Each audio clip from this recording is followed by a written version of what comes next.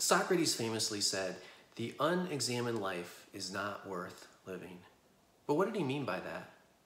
Most people think what, what he was getting at is that unless you're willing to wrestle with, contemplate the great philosophical questions like why are we here? What happens when we die? Is there a God? That you're not really living up to your full human potential. You're not living life fully. And for Socrates, living the examined life wasn't just life's greatest pursuit, it was also life's greatest reward. In a previous blog, I talked about how God remains hard to get, that he remains hidden so that only people who, who really want him, who really desire a relationship with him, will he reveal himself to. But that means that seeking God, Christian faith, requires a lot of time and effort. It requires an examined life.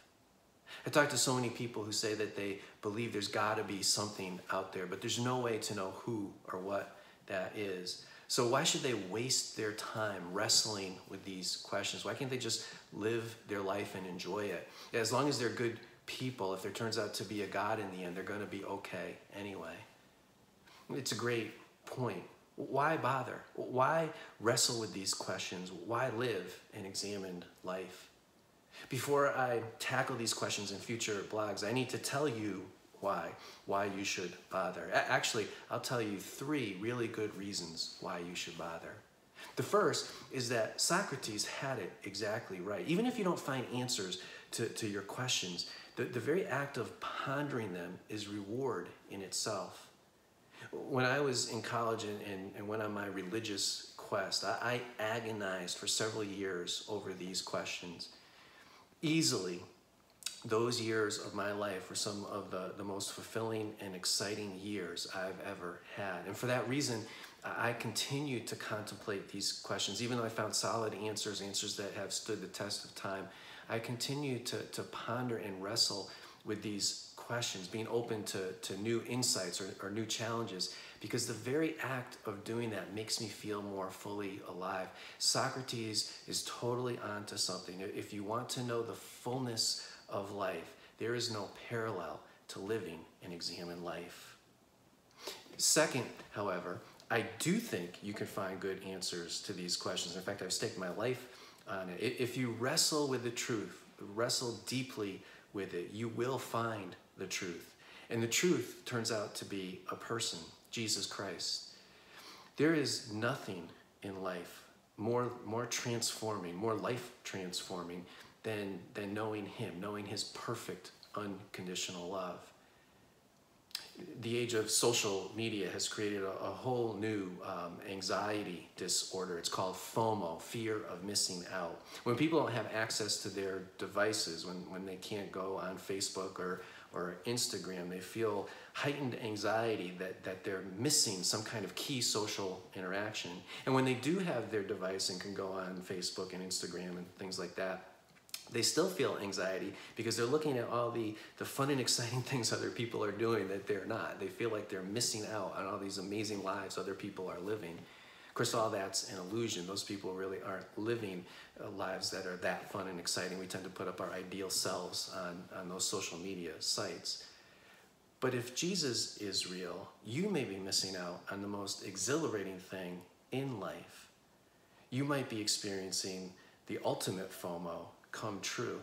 So if there's the slightest chance that he's real, it is more than worth the effort to find out. And third, living an examined life, contemplating these questions, may have everything to do with your eternal destiny a number of years ago, um, I went out for a, a, long run, and when I came back, I, I, sat down on the front porch of our apartment complex, and I was trying to recover from the run. I was completely out of breath. Uh, a newer neighbor happened to be walking around the corner, and he started a conversation with me. Previously, we had just kind of waved to each other from the anonymity of our car, so this is the first real conversation we ever had. As he began the conversation, I couldn't talk. I was just totally out of breath. He asked me this question. He said, If you were to die tonight, do you know where you would go? I knew exactly where he was going with this, this line of uh, uh, uh, questioning. But I didn't have the ability to speak at that point, so I couldn't tell him, no, no, no, I'm, I'm a believer. You don't have to go through this whole, whole spiel. So he did anyway. He gave me the whole why I need Jesus kind of a thing. it was so uncomfortable listening to that little speech he gave to, to, to why I needed to, to accept Jesus as my Savior. And I'm a believer. I was a believer at the time. I can't imagine how uncomfortable and awkward it is for people who don't believe. For many decades, Christians used to ask that question if you were to die today, do you know where you're going? as a way of initiating a discussion about salvation. Fewer and fewer Christians do that now because instead of starting a discussion, inviting a discussion, it tends to shut it down right away. But no matter how ill advised that tactic was asking that question, the question itself is perfectly valid. it's critical, it's vital. Where is your eternal destiny?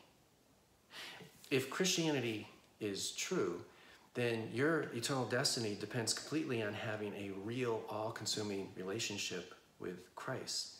I don't mean to be wagging my finger in judgment.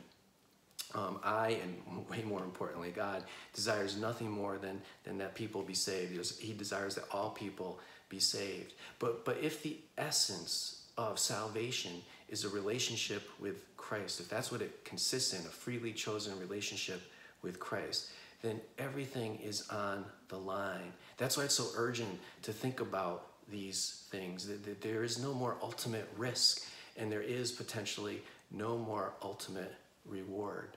And so ultimately, that's why it's worth the time and effort to think about these things, to live the examined life.